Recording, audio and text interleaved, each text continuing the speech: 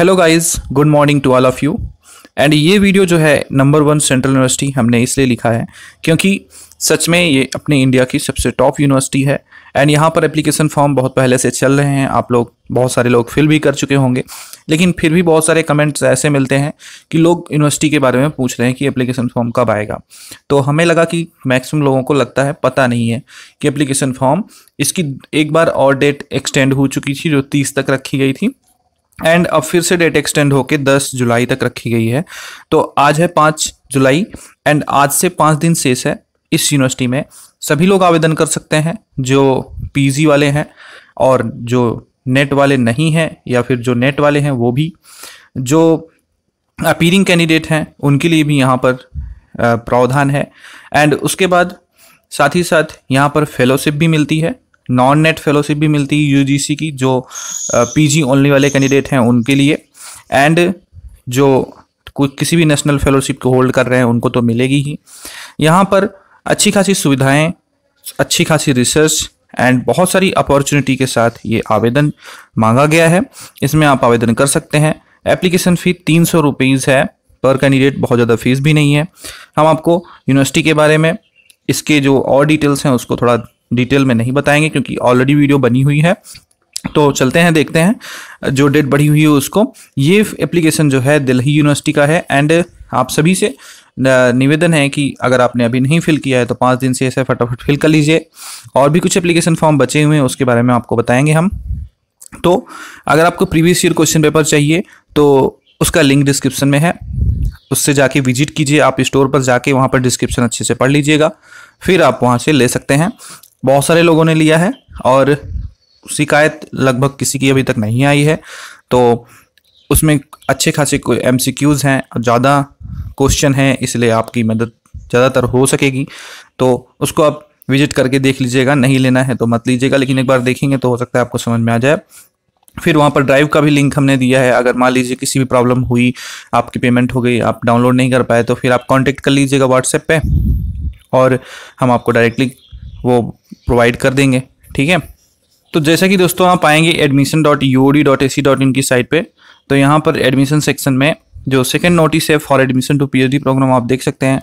Register at P H D दो हज़ार बाईस dot U D dot A C dot in यहाँ पर last date of registration is extended to July tenth दो हज़ार बाईस ये जो डेट है, वो पहले जो है बीस तक थी, फिर उसको दस दिन बढ़ा के तीस तक किया गया था, फिर दस दिन बढ़ा के अब जुलाई दस तक कर दिया गया है, ठीक है?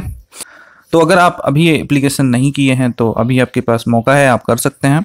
आपको और डिटेल्स इसके बारे में जान लेनी चाहिए तो उसके बाद आप एप्लीकेशन करें। जैसे कि यहाँ पर एलिजिबिलिटी पचपन परसेंट रखी गई है और तीन सौ रुपये फ़ी है।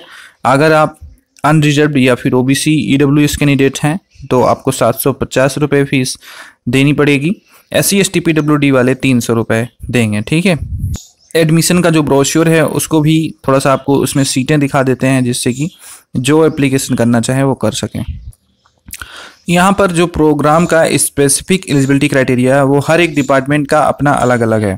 तो जैसे डिपार्टमेंट ऑफ़ अरबिक में आप आएँगे तो यहाँ पर सीटों के साथ साथ एलिजिबिलिटी क्राइटेरिया इसमें दिया गया है। और जो इसमें मेजर रिसर्च एरिया अवेलेबल है, वो भी बताया गया है। और क्या रिसर्च प्रपोजल मैंडेटरी है कि नहीं है वो भी यहाँ पर दिया गया। जैसे अरबिक में दिया है कि रिसर्च प्रपोजल इज़ मैंडेटरी फिर इसी तरह सभी डिपार्टमेंट का। अगर आप डिपार्टमेंट ऑफ़ इंग्लिश अगर आप देखेंगे तो यहाँ पर भी सीटों की details research area eligibility and यहाँ पर कहा गया है कि रिसर्च प्रपोजल आप कितने वर्ड का सेंड करेंगे, वो भी दिया गया है। इसी तरह से डिपार्टमेंट ऑफ़ हिंदी में अगर आप आएँगे तो वहाँ पर भी बता दिया गया है सीटों के साथ कि यहाँ पर रिसर्च प्रपोजल मैंडेटरी है और कितनी सीटें कितनी कैटेगरी में है। बहुत ही आराम से आप इसको देख सकते आपको ब्रोश्योर डाउनलोड कर लेना है। ब्रोश्योर जब आप डाउनलोड करेंगे प्रॉस्पेक्टस को तो इसको आप सभी डिपार्टमेंट्स को जाके विज़िट करके बाकायदा अपनी डिटेल्स ले सकते हैं और तब जाके आप आवेदन करें। जिस डिपार्टमेंट में सीटें, अगर आपके कैटेगरी में सीटें नहीं हैं तो आप अनरिजर्व में जा सकते हैं।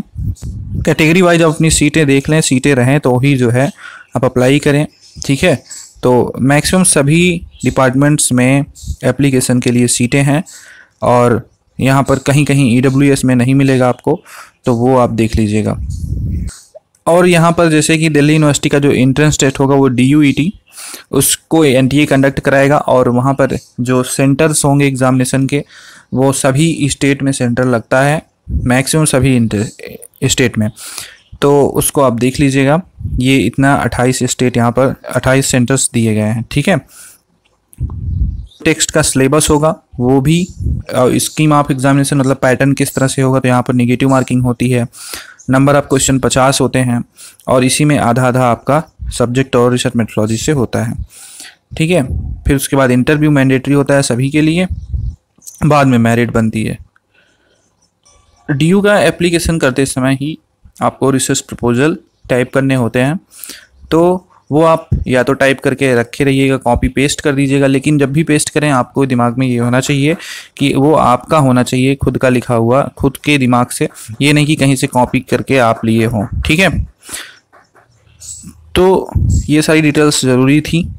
आपको बताना एप्लीकेशन के लिए पाँच दिन शेष है अभी, और अब एप्लीकेशन की डेट नहीं बढ़ेगी। ये क्लियर है। आप अब आवेदन करना चाहें तो कर सकते हैं। मिलते हैं नेक्स्ट वीडियो में नेक्स्ट इन्फॉर्मेशन के साथ।